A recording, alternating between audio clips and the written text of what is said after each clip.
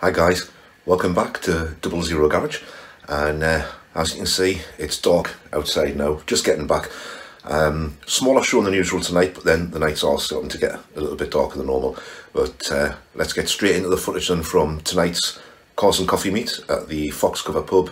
in Ashington, Northumberland in the United Kingdom.